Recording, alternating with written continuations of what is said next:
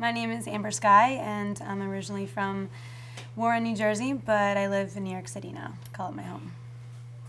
Well, the song is called Secret, and I co-wrote it with uh, my producer, Lena Leon, and it's it's basically when you know you're in a relationship with someone, and honesty is always the very important thing, and um, you want to be honest with them, and you want to tell them everything about your past and who you are so that you can have a fresh start with them. But uh, you know, you might be really worried about any judgment or what they might think about what you've done or who you've been in the past. You know, we're always changing and we're not always proud of the things we've done in the past, but we learn from those things and we grow. And um, so the song is really about, you know, the struggle, like debating whether or not to tell this person um, about something, um, about a secret and they want to be honest, but they're not sure. And it's about that struggle.